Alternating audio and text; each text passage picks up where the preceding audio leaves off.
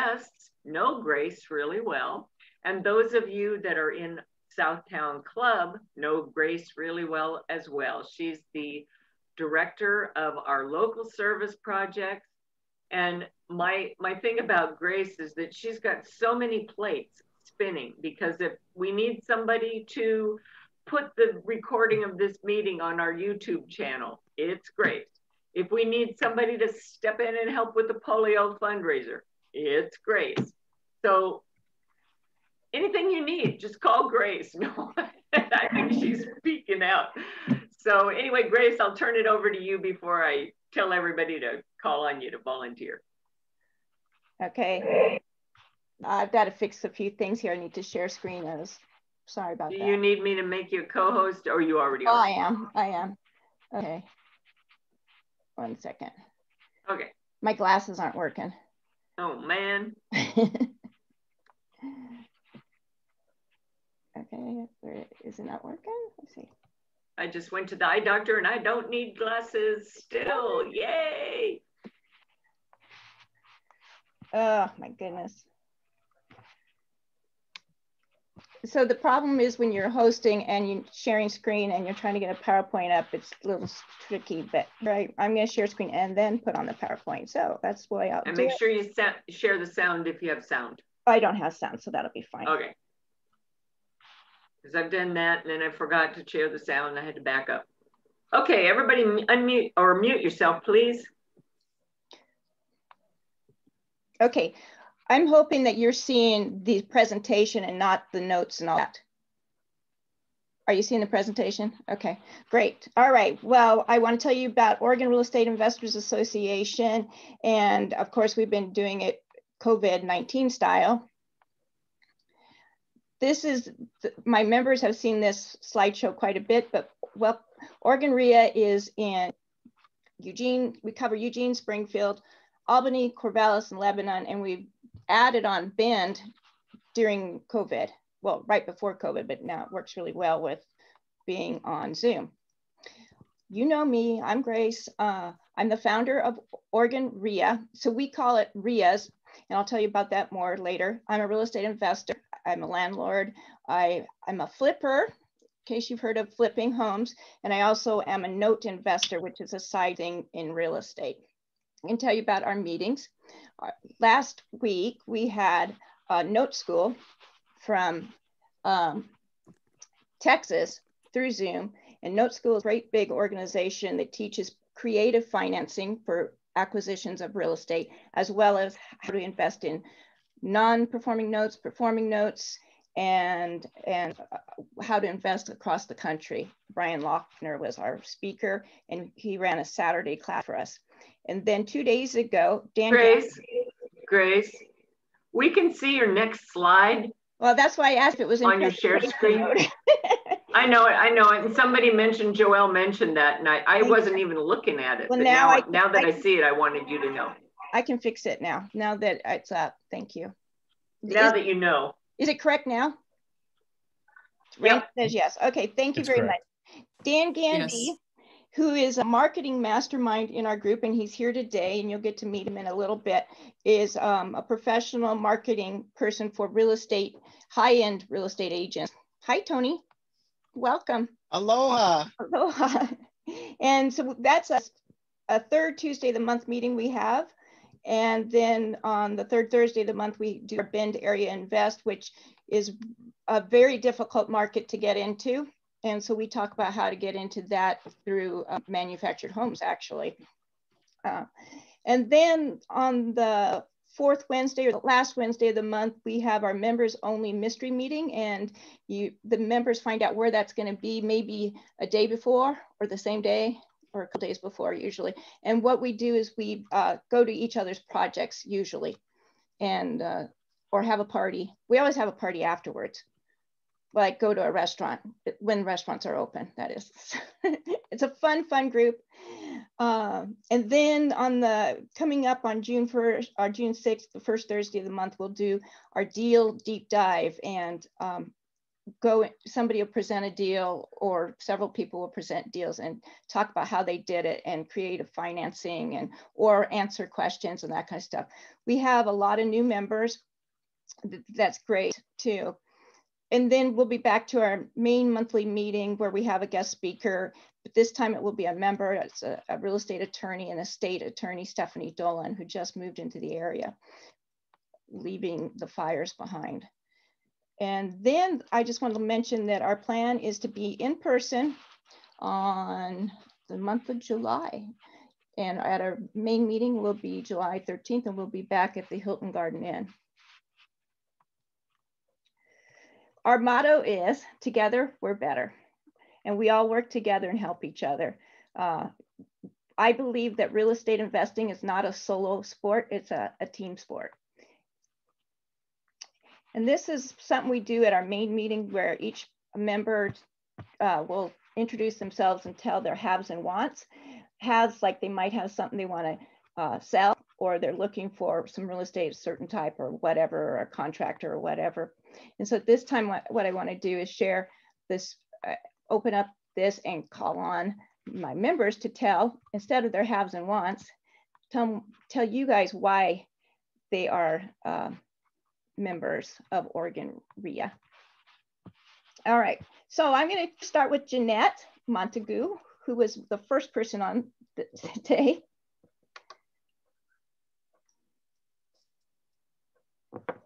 She's working, all the members yeah. Thank you, Grace. while you're waiting.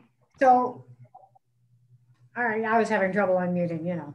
Um, uh, Jeanette Montague, Farmers Insurance. I was a landlord when I first joined, and now I do my real estate investing the lazy way. I let Precision Capital do all the work for me, and I sit back and draw my six and a half or seven percent interest. Works for me because I'm working 60 hours a week. I'm a farmer's insurance agent. So, Farmers owns Foremost, who happens to be the leading insurer of specialty dwellings. Specialty include flips, vacant, landlord, RVs, boats, motorcycles, just about any kind of specialty thing you could look for is covered foremost insures. Um, vacant homes are tough. Most carriers won't touch them. Foremost does. Their rates aren't cheap, but they're reasonable for vacant homes. I also do flood insurance. I'm recently appointed through Neptune, which is a private flood insurer and about a quarter of the cost of FEMA. So if you need flood insurance, be sure and check with me because I can get you a, an A-rated company that doesn't cost you like FEMA does. Um, and that's what I do. Thank you, Jeanette. Now I'm calling on Mike. My name is Mike Rizzi, and I've been a Rotarian for like 25 years. Uh, I was started in the Midwest and, and I'm now a member of the Eugene Rotary Club. Um, 2019 was the culmination of a five-year plan where I paid off a uh, regular rental and uh, was my sixth year as an Airbnb host, but I'm on four websites. And uh, it, it's one, of the premier properties in town. Uh, we're booked mostly year round, and this year probably going to gross between 40 and 50. Um, I do private money lending, and I've actually found a little niche uh, in the legal cannabis industry, which has no access to banking and some incredible interest rates. Um, and from all the proceeds, I try to do all the good I can in the world. I'm just about to fill out an application for the bur burrito brigade. Uh, but I've been a uh, Egan Warming Center overnight supervisor for uh, seven years now. Uh, next Wednesday, I give my 204th lifetime blood donation. Uh, and I've been working Rotary volunteer registration at the fairgrounds for vaccines for the last three months every Sunday. Um, I just do a lot of stuff. People ask me, why do you do all these things? I, well, I'm making up for a very sinful youth. Just kidding. That's my story, and I'm sticking to it. Thank you. Thank you, thank you, Mike. Okay, let's Dan Gandy. Are you ready? I'm Tell us ready. about yourself. Uh, yeah, thanks, guys. Uh, I am uh, Dan Gandy. I am a broker, investment broker uh, here in town, as well as a real estate marketing consultant. I, I am a partner in a technology company that builds websites and strategy for real estate agents across the U.S. We got about 15 employees, um, and I'm also an investor myself. Um, I like to invest in multifamily, multi-unit properties uh, some fix and flip, but uh, other creative financing and, and type of acquisition deals and helping low income people find good places to live at an affordable price. So um, yeah, and Grace has been awesome. Kind of put me under her wing when I moved to Oregon, and we've been able to collaborate and build a good network of people and help people that uh, are in need. So super super excited to be here. Uh, Dan Dan forgot to say that he's absolutely brilliant and he's got a really good heart. Yeah. Thanks, Mike. so true. Uh, Stacy. Hi guys, Stacy Dehart with Icon Real Estate Group. Um, my reason for RIA, let's see, when I first started with RIA, I was um, working with Momentum Property Solutions. That was my uh, flip company. And I had flipped my first house and that was quite an adventure and realized that that's probably not my forte. So I still stay in the group because being in the know is how I can be best to help my clients who are looking for properties like that. And so that helps. And then it's just like a matchmaker kind of thing. So that's kind of fun. And I do have an Airbnb, so I'm also a good resource for the Airbnb community. And let's see, I think that's it. Oh, and Grace and I have done game night. So that's always fun. That's true. Yeah. Stacy's always ready to show a property. You need to get in, she's there. uh, Patricia, how about you? Um, hi, I, um, I'm delighted that Grace asked me to be one of her guests today. Um, I'm one of those folks, I have a little Venn diagram overlap as I am also a Rotarian. Uh, I moved out here from Philadelphia in the middle of the pandemic and, and uh, I, I reached out to Grace because I realized as a member of RIA, I got some straight email that, that she mentioned it. And I said, oh, I'm looking for a new Rotary home. And so she has introduced me to, to you all. I'm delighted. Um, I'm also a, a, real estate investor uh, full-time. Um, I'll tell you, I, uh, I, I had a bit of a boondoggle. I, I decided to go to medical school and become a physician first. So I was an MD and, and uh, I am an MD and, and practiced medicine, family medicine up until about 2010. I did that in Philadelphia. Um, and uh, then decided that, that that was not the best fit for me. And uh, I changed um, career paths. Um, I had done some, some uh, flipping before uh, in my early 20s um, in San Jose's Almaden Valley. So I, I sort of circled back to the investing pathway. Um, I have flipped dozens of houses. I never want that job again. And uh, I'm I primarily am a buy and hold investor. Um, so, and, and I like to work in the single family home space, um, in the small multifamily home space. Um, and uh, I, I love fixing up houses. Um, but I also am a note investor. So I do that. I do private money lending. Um, I do some coaching as well. And I uh, recently just launched uh, a large private equity real estate investment fund um, that uh, is primarily focused in Portland. And I have two others, um, three others actually, um, that I'll be doing next year one in Iceland, one in St. Lucia, and then some senior living opportunities down in Texas. So that's what I do. So um, the reason why I joined RIA is um, it, the real estate investors among us will recognize this phrase. People say that your net worth is your net work. And when I have um, uh, new investors who want me to coach them and, and, mentor them, I always tell them you need to join your local RIA. That's step one. And if there's a market outside of where you live where you'd also rather invest, you have to join that RIA as well because that's how you connect with people. Um, you know, it's uh, I, I have a list of, of if I need a roofer, a painter, a home inspector, a title guy, a, um, an attorney, or something like that. It's always my network I go to. And the RIA, um, wherever in the markets that I'm invested in, I, I have contacts with local folks on the ground. and uh, there's a famous podcast, two guys, um, Robert and Russell, the real estate guys radio show, and they say, you know, you live where you want to live, where but you invest where the numbers make sense Well, the only way I would invest where the numbers make sense is an area where there's a RIA because it's that strong. This is um, this is this is my my my varsity team wherever i'm investing it's always the ria that i call on first i have mm-hmm. You know cold called presidents vice presidents or the leadership of any given ria i'm interested in and and we're a really a fun bunch we love to talk about deals we love to talk about our, our markets our industries and we're always happy to connect um, each other with with whatever resources we need so all that's to say that I'm thrilled to be part of the Oregon RIA. I joined the Portland RIA. I'm still a member of the RIA back in uh, outside of Philadelphia, and I can't say enough good things about it. So even if you have a passing interest in real estate investment, this should be your first membership stop.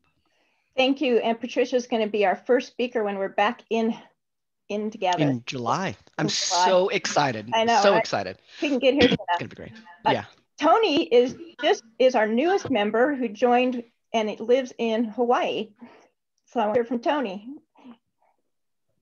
Aloha. Uh, yeah, I'm a, I'm a very new member. Um, I uh, bought my first investment property in Waikiki early in uh, the 2000s, it's 2002, and uh, the bug uh, got me. I, I had so much fun with it. It was a, a fix and flip, and I did all the work myself. We call it sweat equity, uh, fixed it up and sold it. And with that, I was able to buy uh, the place that I live in now that's much larger than I probably could have ever afforded otherwise. And I raised my kids. Um, my oldest is actually graduating this year and going to the University of Oregon, moving to Eugene. So that's the reason why I, I've been a member of our local real estate investor club for many, many years. And the one thing that we always agree on is, is uh, like Patricia just said, if you're going to be investing in an area, you definitely have to join the RIA in that area and network with those people because when you help people the, the, the goodness goes around. And uh, so that that's the first thing that I did. We're going to be going over um, to visit in a couple of months. I've never been to Eugene, but I'm very excited to meet the team. And I really like what I see. It looks like a powerful and loving team. Um, and I can't wait to get started.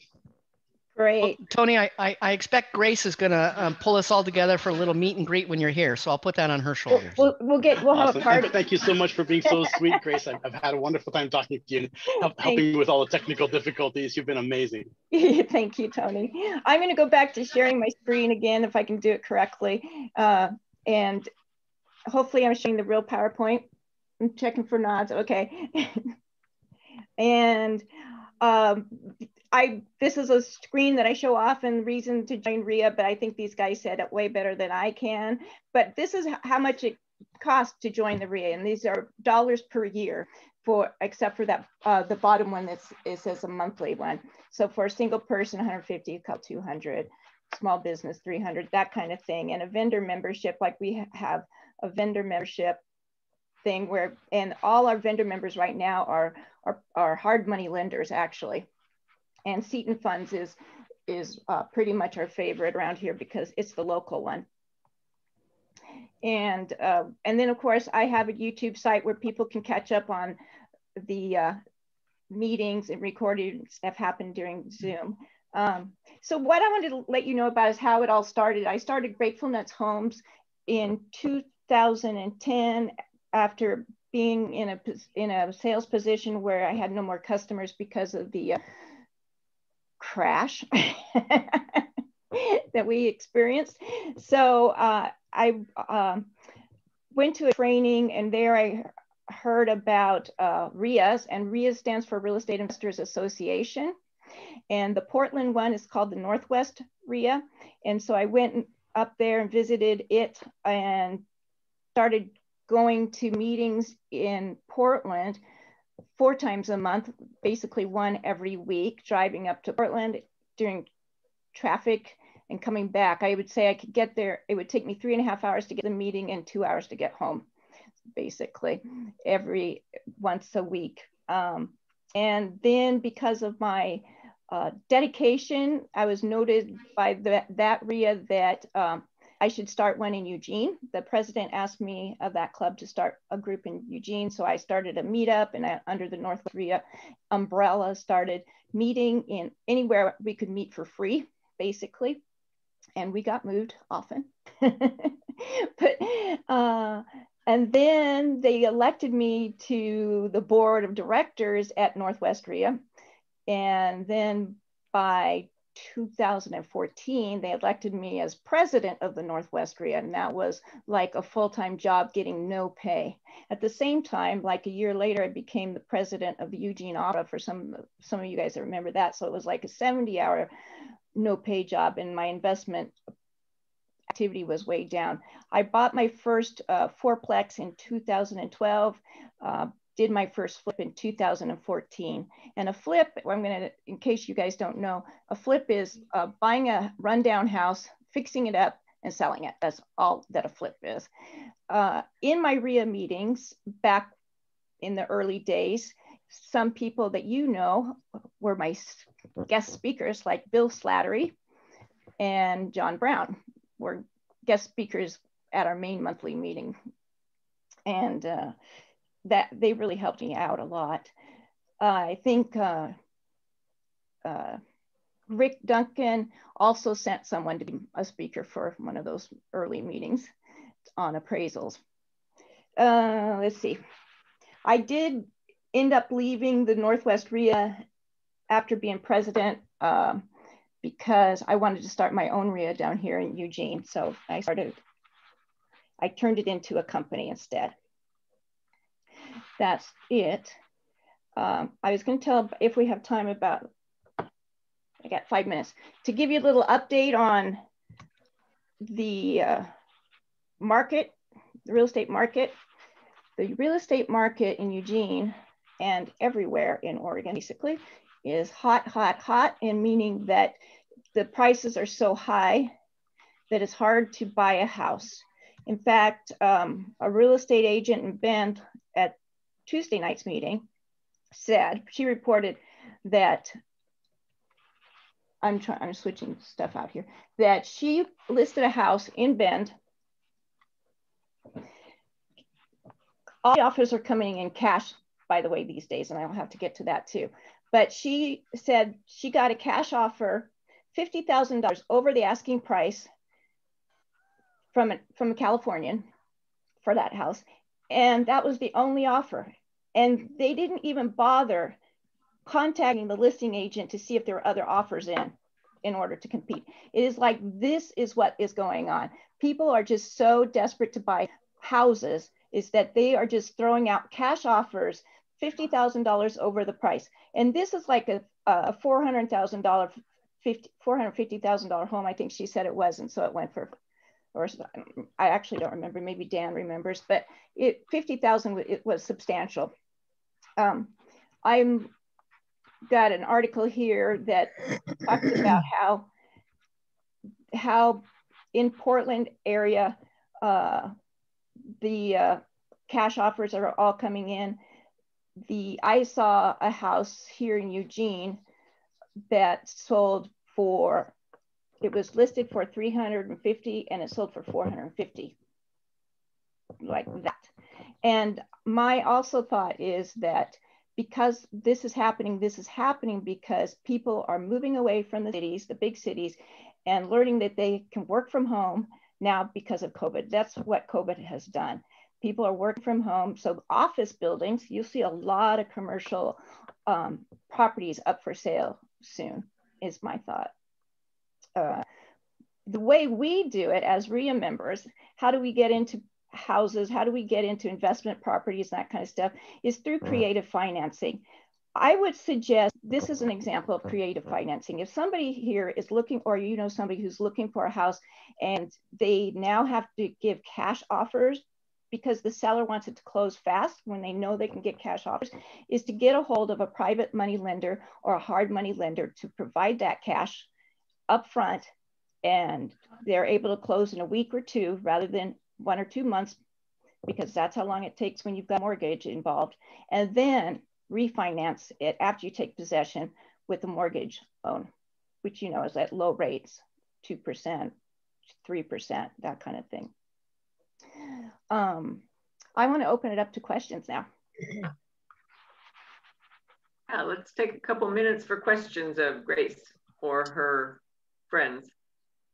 Grace, uh, is RIA because there's chapters all over? Is it a franchise? Is it an association? What What is the nature of the organization? that's that's a good question. Thanks, Mike. Uh, so it is there is a national RIA, and many RIAs are members of the national RIA. I my RIA is not a member of the national RIA. There are real estate investment clubs which are national, and it is a member of a real estate in, in, uh, club, a REIC. We call these REICs, and then there's RIAs. so, um, but the REIC club doesn't provide very many. Uh, doesn't provide a whole lot. So but they are in Canada. They are all across, in many, many communities across the United States. I see John Fanner had his hand up yeah. and then Kathy. What's the definition of hard money? Okay, a hard money loan is uh, a company who has private investors and and like Jeanette said, she's lending her money to Precision Capital. Precision Capital is a hard money lender. They're a great company here in Eugene, but so then the hard money is lent out at maybe 9% to 12% to 14%, 15%, 16%. In Mike Brenzian's world of cannabis, it's a lot higher percentage. so sometimes 20% or more. Yeah. Wow. Kathy. So two questions. First, what is note investing? What does that mean? And second, for Patricia, what's she doing in Iceland? Iceland. okay. So go ahead, Grace. You first. Yeah. Well, uh, note investing is investing in paper. It's investing in mortgages. It's investing in seller financing. It's buying somebody else's paper.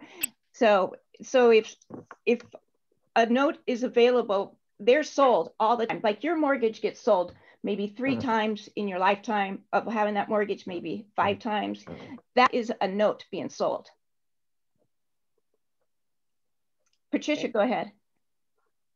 So, uh, and I'll just pick you back, Kathy, quickly. So, um, everybody understands what a mortgage is. The mortgage and the note go hand in hand.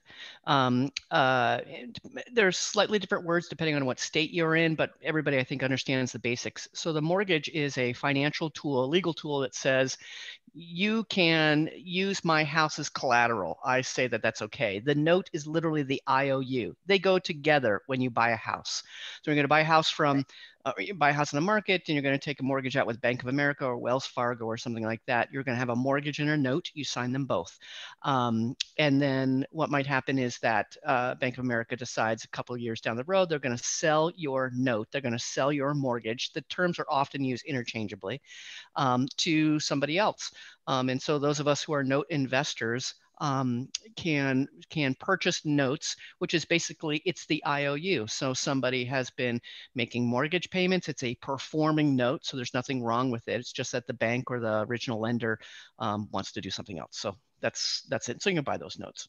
Iceland, Iceland. Iceland, indeed. So, um, well, next year, what we'll be doing is I, have got some boots on the ground, some friends who live in Iceland, and there's an opportunity to uh, purchase homes um, in neighborhoods in some of the, the resort towns of Iceland and offer them for sale, kind of like Airbnb, but except ours is part of a, a, a network for a local existing resort that has um, hotel rooms, but there are families, especially now post-pandemic, who want to travel, not expose themselves to to hotel rooms, et cetera, and, and might have you know multiple generations. They all want to travel together, and so um, we have an opportunity to to buy some houses um, and offer them uh, for vacation rentals under the wing of an adjacent uh, hotel, so we can some piggyback operationally on their uh, concierge uh, uh, services, et cetera. So I'm putting together an investment fund which will be a pool of investors.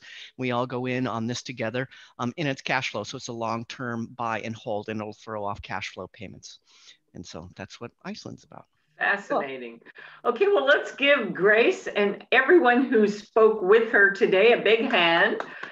Um, thank you for coming in and presenting to us. We always donate 10 polio vaccines in your names to uh, our Rotary efforts to eradicate polio worldwide. So thank you for that.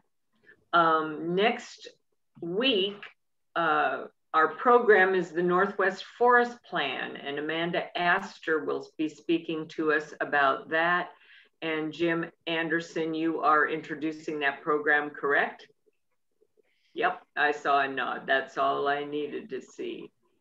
Um, in June, our program will be um, Megan. Is it Walt? What's her last name, Susie? Schultz. Schultz. Schultz that's right. I was mixing her up with a Megan I knew on the coast. That's why I knew that was wrong.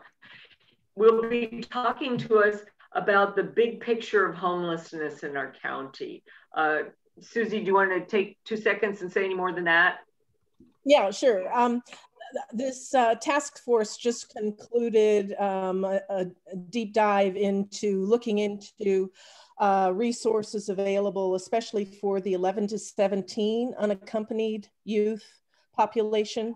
Um, there are a disturbing number of kids in that group uh, and looking at um, uh, what's currently available for them and what we what the recommendations are for making things better. So she'll be presenting. Thank you. And that should be a good program too. A little bit depressing, but need to know. Uh, I want to invite all you visitors to come back to our meeting. And Mike, you could just transfer clubs. We'd gladly take you. Maybe, you know, you need a change. You know, it's like the seven year itch or something, or the 20 some